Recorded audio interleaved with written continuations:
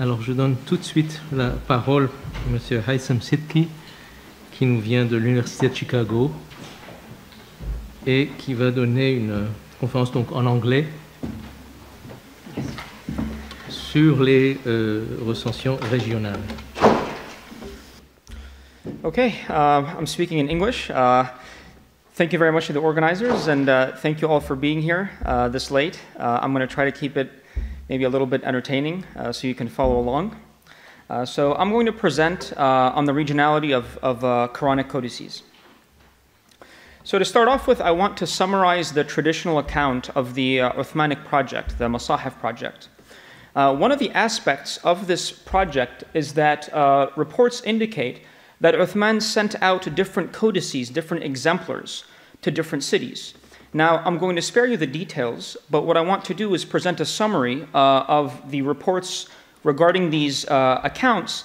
And Ad-Dani, Abu Amr Ad-Dani, he's an Andalusian uh, uh, Muslim scholar, and he has a book called Al-Muqna, and he summarizes these, these reports for us. And so he says, that uh, most scholars are of the opinion that when Uthman wrote the Mus'haf, he made it into four copies.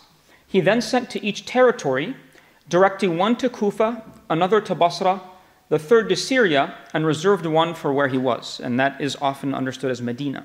So in this first report, we have the idea of there being four exemplars, four main copies of the Quran that were made that were sent out to the different regions. Now he also says that it was said that he made it into seven copies, so three additional copies, and that those copies were sent to Mecca, Yemen, and Bahrain. But Ad-Dani says that the first report is more connect, uh, correct, and this is what most scholars uh, agree upon, is the first report that there were six of those. Now, in Al-Muqna and in other books that have to do with Rasm literature, so the orthography of the Quran, we have different reports of the variants associated with these four different regional uh, uh, mushafs, in addition to Mecca. So the fifth one. But we don't have any data on Yemen and Bahrain or any other mushaf. So I just want you to keep that in mind. Now, what do these regional variants look like? So this is just a very simplified example, and I, I can classify them into two different types. So here, for example, in uh, uh, Surah 1022, we have what's called an isolated variant. So this report says that this variant of Yanshurukum is present only in Syrian mushafs, and in all other mushafs, it is yusayyirukum. So this is an isolated variant.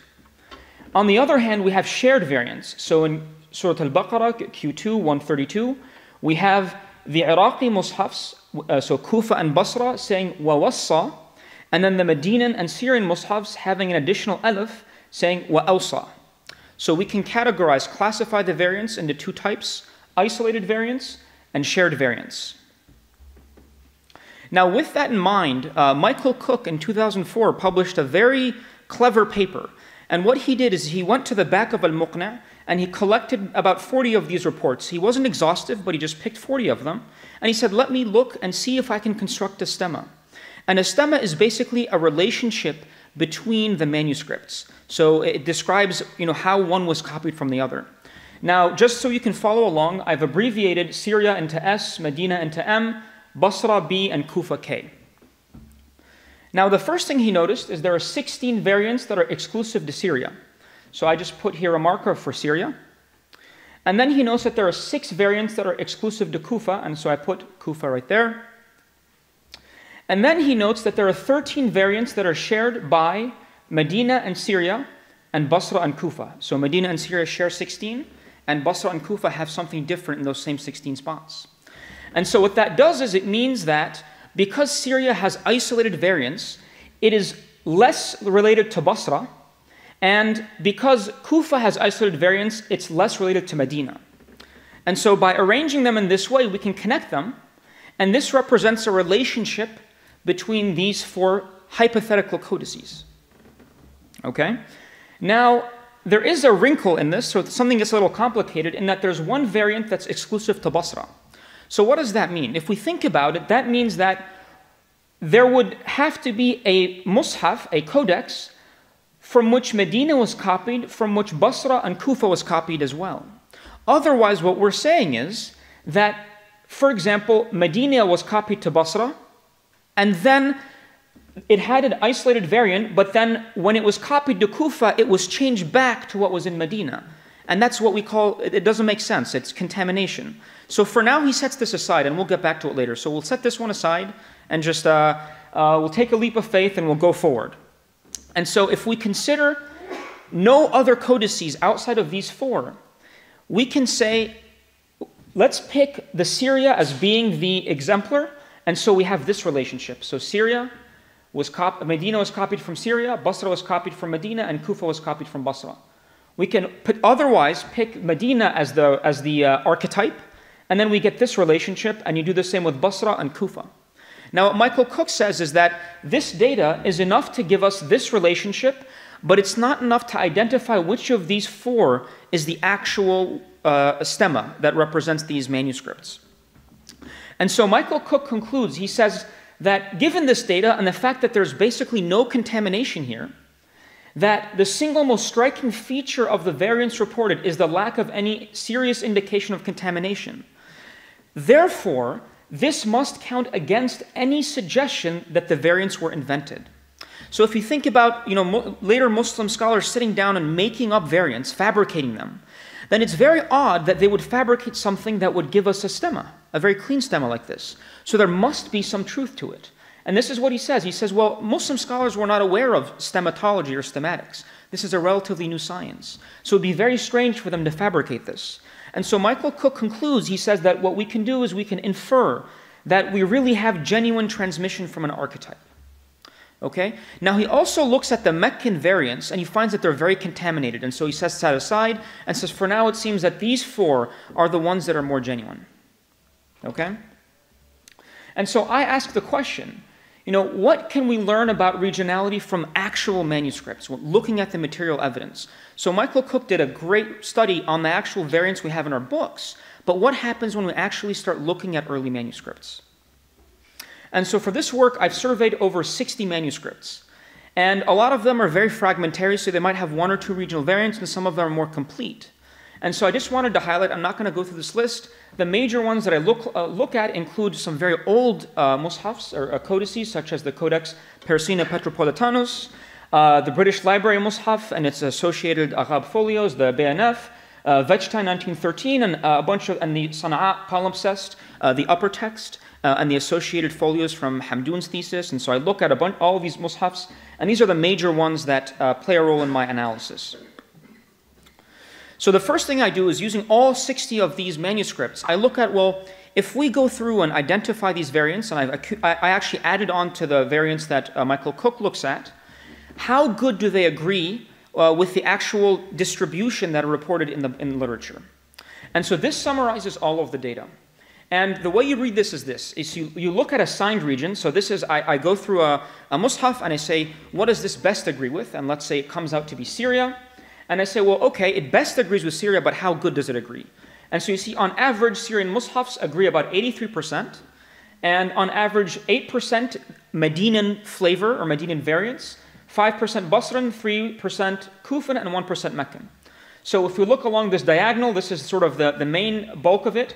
We can see Medina on average, we have 88% agreement, Basran, 98% agreement, Kufan, 91, and I found no manuscripts that were identified originally as, as Meccan, that were majority Meccan. But some mushafs contain Meccan variants, and so you see Mecca here for uh, Syria and Medina. Now, what I highlight right here are just a few of the mushafs that I showed earlier of these manuscripts uh, and the, the, the, details, the breakdown of those manuscripts. So if we look at the CPP, uh, we find that it's 93% in agreement with Syria and 7% Kufa, uh, BL uh, 2165, 87% uh, Syria, uh, DAM 27, this is the palimpsest and the associated folios, it's 100% Medinan. As well as the DAM 29, this is also 100% Medinan. Uh, and then you get a, a, bunch of different Basran manuscripts. Some are, are quite later, uh, but you find a lot of 100% agreement here. Uh, and then we have Arab 331, which is 67% agreement. so what I want to do next is zoom in a little bit and see what's the source of this disagreement, and, and, and talk about that a little bit. Uh, so uh, the interesting ones uh, to me a little bit are the CPP, the uh, Codex Parisinus Petropolitanus, and BLOR 2165. So for the CPP, we have 28 attested variants. So in the surviving folios, or the folios we have access to in the edition produced by uh, Professor uh, Déroche, there are 28 variants and only two deviations. And those two deviations are, have to do with qala and qul. Okay, so where one would expect qala, it's spelled as qul. And if you look at the British Library Mus'haf, we find the same thing. Uh, there are 26 variants present, uh, three deviations, and it's the same thing where you would expect qala, uh, you find qul. And you can imagine that when you have this defectiveness in the, in the in qala in early manuscripts, uh, it can still be read as qala, so it's a bit ambiguous. But actually, if you go to the literature, what you'll find is the variants that Michael Cook classified as being absolutely assigned to those regions uh, in earlier works such as Abu Ubaid's Fada'il, and even in works from uh, uh, Al-Andarabi and others, they do not attribute these variants, these qala qul variants, to all other mushafs other than Kufa. So Abu Ubaid here, for example, attributes it only to a difference between the masahif of Kufa and Basra, and says nothing about the other mushafs. And Andarabi says it's actually present only in some mushafs and others not. And Ad-Dani says that same thing in earlier in his book, uh, but not later in his book. So, so these variants are not necessarily very strong. And so, so if we set these aside, we find that our oldest manuscripts, like CPP and uh, the British Library Mus'haf, are in 100% agreement with what we have reported uh, about the Syrian variants.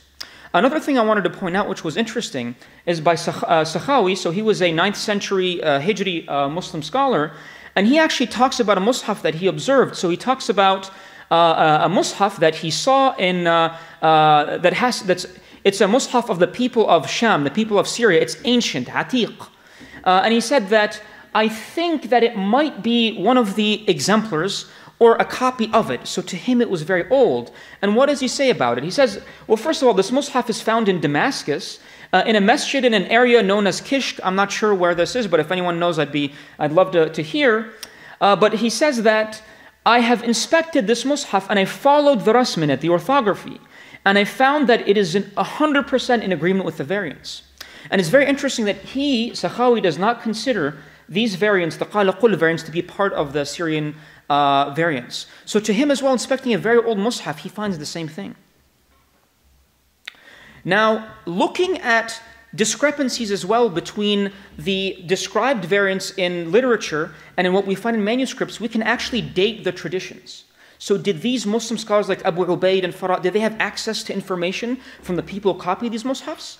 Uh, or do they get their information a little bit later? So I want to talk about two examples. The first one is the Syrian variant.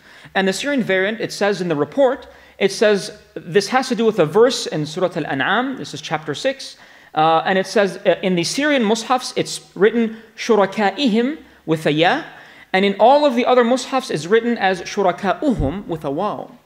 But when we look at mushafs, what we find is so here I have the CPP, there was a ya here, but it was erased. And this is the Birmingham 1572b. There was also a ya here, but it was erased. But these two have yas, and they're Syrian mushafs. But if we look at all of the other early mushafs, or even not even terribly early, we find we don't find shuraka'uhum with a waw, we find it caseless. There's no case vowel. It's just shurakahum. And as well as late as this is the Husayni Mus'haf, it's just shurakahum. And again, in so many Mus'hafs, this is Sarai Medina 1, and this is the Katalonger Mus'haf, and we find this in many uh, uh, uh, manuscripts that it completely lacks this vowel. And only in later ma- manuscripts like Samarkand here, and this is a B2 Zidan manuscript, uh, this is Arabe 339, we find the waw show up. And so that discrepancy, nobody talks about this caseless form, but they all talk about the form with the waw. And so this discrepancy can allow us to date the reports and informs us that these people were just looking at contemporary mushafs.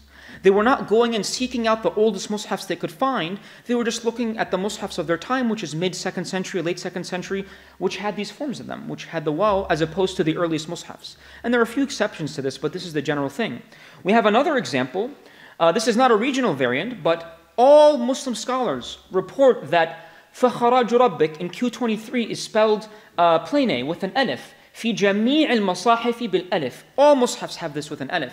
But again, you look inside manuscripts. I only show three here, but there are so many. I have Wetzstein right here, and all of these, they don't have an alif in them. And you go back to Sakhawi, and he's talking about, the, remember that really ancient Syrian mushaf? And he says that وقد رأيت أنا في المصحف العتيق I saw in that ancient Syrian mushaf uh, الذي ذكرته فيما تقدم the one I mentioned before فخرج بغير ألف. I've seen it written فخرج without an alif, so defective spelling. And so he goes on and he chastises, he criticizes the previous scholars who write the Rasm works, and he says, وَلَا ينبغي, it is inappropriate, it is unacceptable, لمن لم يطلع على جميعها, that whoever has not looked at every single mushaf, to say da'wa dhalik, to make the claim that they have looked at all mushafs. And so, as a counterexample, what I show here is Sarai Medina uh, uh, M1A, which is a relatively early mushaf, and it's actually spelled plain. It's erased, the alif is erased, but it's spelled fakharaj with an alif right there. Okay, so now I want to move on to taking all this data in and doing phylogenetic analysis. Now, if you're not familiar with what phylogenetics is, I'm just going to give you a very brief overview. The idea behind phylogenetics is to study the evolutionary history of organisms. We have surviving organisms, we can collect their DNA, look at the fossil record, look at morphology, and then we can use methods through relationships between DNA and the morphology to try to reconstruct shared ancestry between species and organisms. And there's actually a lot of similarities between uh, evolutionary biology and between manuscripts, and in particular, handwritten manuscripts. So I've given a couple, and there's some differences, but we adjust for that. But we can think of some similarities uh, between hand copied manuscripts, like scribal errors. So when DNA is copied, it's imperfect, mutations happen. The same way, when you copy a manuscript by hand, you can make some random mistakes. And you can also have contamination. So you can have the influence of another mushaf. You can copy from multiple exemplars.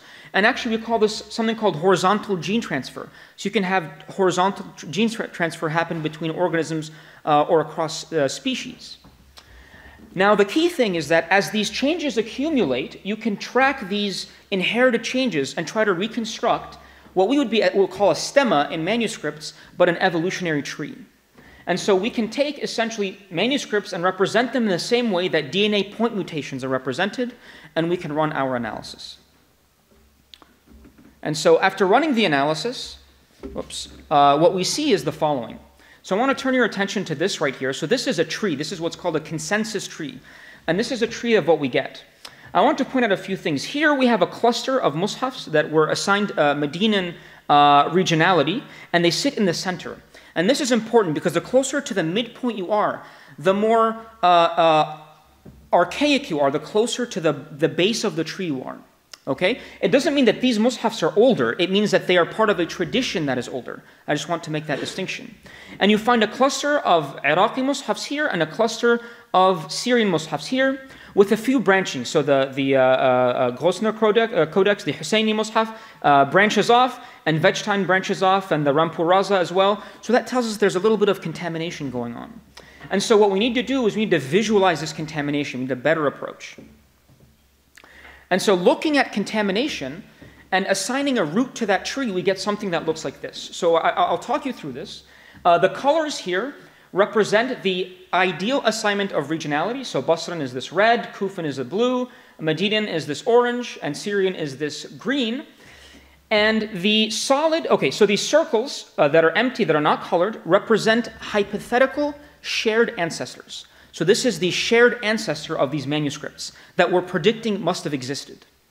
And I have just assigned them letters according to what we would expect. Okay, so then solid lines represent a very strong relationship, and dashed lines represent contamination. Okay, so here, looking here, we have Medina M. We have a very strong relationship to all the mushafs that were attributed to Medina, with the exception of this one, but there's a lot of contamination. The same we can say for the Syrian mushafs. And then for the Basran mushafs right here, and the Kufan, we have the Husseini manuscript with contamination from Basran, and the Samarkand, which is a little more Basran potentially, with some contamination from Kufa. Now, notice that when I initially presented the picture from Cook, we had only four exemplars. But if you look here, we have one, two, three, four, five. And I labeled one B and one B prime. So what's going on here? Remember that Basran variant I talked to you about that we ignored? So if we actually take that into account, and I actually include, I just include all the raw data, you can see that there must be a divergence that happens, and this divergence represents the fact that these mushafs have something that was innovated later on, so that it hints at some modification that might have taken place to an original exemplar, a regional exemplar.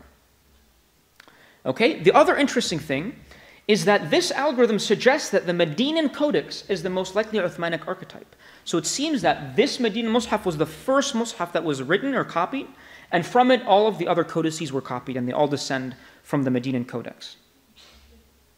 Okay, let's talk a little bit about this Basran variant. So the Basran variant is in uh, Q23, Surah Al-Mu'minun, and it's verses 85 to 89. And so there's a series of question and, uh, questions and answers that go on. So قُلْ لِمَنِ الْأَرْضِ To whom does the earth belong or the land belong to? The answer is سَيَقُولُونَ لِلَّهِ It belongs to God. And then you have two uh, other interrogatives here. قُلْ مَنْ رَبُّ السَّمَوَاتِ Who is the Lord of the heavens and the earth? And the most mushafs, they say, سَيَقُولُونَ لِلَّهِ They will say, to God it belongs, which is a bit strange. Uh, and the third one as well, قُلْ مَنْ بِيَدِهِ In whose hands are the keys to the kingdom, etc. سَيَقُولُونَ لِلَّهِ Now the Basran variant, these second two are actually written as سَيَقُولُونَ Allah. They will say God. And that actually makes a little more in, uh, uh intuitive sense and so the more difficult reading here is more probably original. So we have lectio uh, difficilior uh, uh, applying here. Uh, and what's interesting is we actually have reports that the, the Basran variant was added later. And so we have a report, a number of reports, going back to Asim al-Jahdari, who was a Basran reader and scribe, and he says that uh, he was responsible, uh, uh, or he ascribes the addition of these two to Nasr ibn Asim, uh, and others, Hassan al-Basri ascribes this to uh, Ubaidullah ibn Ziyad, who was actually a governor of Basra um, and of Khurasan. Uh, now, the, the key thing is there's a lot more involved in here, but the, the point is that if you go through all the analysis, there's no evidence that Al-Hajjaj was involved in this variant at all. Uh, and actually, uh, we find that later B2 manuscripts contain uh, Allah, Sayyiduna Allah. So what about earlier ones? Well, the only earlier Basra manuscript that we identify is Arabe 331, and unfortunately, the folios that contain that variant are missing. So, you know, alas, what can you do? Uh, so there's no way to sort of verify this, but you know, my, suspicion is that, and based on the stemma, the analysis, is that this variant was a later addition. Okay, so another interesting thing that comes up is if you look at the majority of, of reports that uh, have to do with the Syrian variants, they talk about the Mus'haf Uthman sent to Sham, to Syria except for one report which comes to us from uh, Abu, uh, Abu Hatim al-Sijistani. He's a third century Muslim scholar, and he talks about وَفِي مُصْحَفِ حِمْص الذي بعث به عثمان إلى الشام and in the Himsi Mus'haf, the Mus'haf of Hims, the one that Uthman sent to the Syria. So he seems to indicate that this Mus'haf went to Hims when intuitively you'd think maybe Damascus. And uh, he actually adds in addition to the known variants, an additional one. He says in Anfal, ma kana linnabi. So there's a definite L in there. You know, ma kana linnabi versus what the typical uh, reading is ma kana linabi. And what's interesting is the Damascene, Ibn Amir, the canonical reader, does not read lil nabi, he reads linabi. And if we look at the earliest mushafs that we have that actually are Syrian, so the CPP, the British Library Mushaf, Arabe 6140A, and uh, which has some counterpart folios in Cambridge, uh, which actually I've studied this, uh, this Mus'haf, all of these three have Himsi verse counts, first of all. So they have Himsi character. And actually, if you look for this variant, you find them. So actually, this is the uh, uh, Cambridge folios, Makana lin Nabi. This is the British Library Mus'haf, Makana lin Nabi. And in the edition produced by Professor Déroche, it's there as well, but I don't have a picture uh, of that variant. Uh, but all three of the oldest manuscripts that are Syrian that have this variant available, they have Linnabi, which is uh, uh, in accordance to this report, they have a Himsi verse count. Uh, and so it really does seem that the codex, what I'm proposing is that the codex that Uthman sent uh, to Syria was actually sent uh, to Hims as opposed to Damascus, which we might uh, think intuitively. and so, with that, I would like to conclude with the fact that by looking at the manuscript data, starting with the idea that you know Michael Cook put down, when looking at the manuscript data and analyzing it using phylogenetics, we can confirm that there is actual presence of regionality uh, and there are four exemplars uh, that comes out of the data. There are four exemplars uh, out of the data that we get from the manuscripts. The Medinan exemplar appears to be the original Uthmanic archetype from which all other Uthmanic mushafs descend. And we can look at discrepancies between reports uh, in the literature, in the Western literature, and actual early mushafs, and I have a few more, I just had time to go through two of them, that actually allow us to date these traditions to the mid second century. And they don't seem to go back much earlier than that. So this is a very early date, uh, we can say. And there is contamination. We find some mushafs have contamination. And what that hints is at interaction between uh, orality and uh, textuality. So, for example, the Topkapi Mus'haf, it's very Medinan, but it has a Syrian variant, which is Huwa alladhi yanshurukum versus Yusayirukum in Q10. And the canonical reader Abu Ja'far, he reads very Medinan, except in this one variant where he reads Yanshurukum as well. So there's a bit of similarity in there, and that hints at some sort of interaction going on. We also actually found, so Sarai Medina 1, I don't have time to go through it, but actually it turns out it's a composite codex. As the hand switches from a different script to the Umayyad script, it actually switches from being uh, uh, non Syrian to being Syrian, fully Syrian, switches uh, very cleanly. Uh, and so it seems that these people who put together this mushaf had multiple codices of different regions available to them at the same time. Uh, and of course, the, uh, what I just showed you, that the Syrian codex was very likely sent to Hims as opposed to Damascus. Uh, and with all of this said, I think it'd be very useful to, to take a closer look at, what I call microstemmatics. So, you know, there are many tiny variants and, you know, plain A, defective spelling and elifs, little things like that. All, and collecting all of that and doing a much higher resolution study will shed more light on the detailed relationship between all of these manuscripts, especially ones that come from, you know, have similar provenance and might come from the same deposit. And so with that, I'd like to thank you all for listening.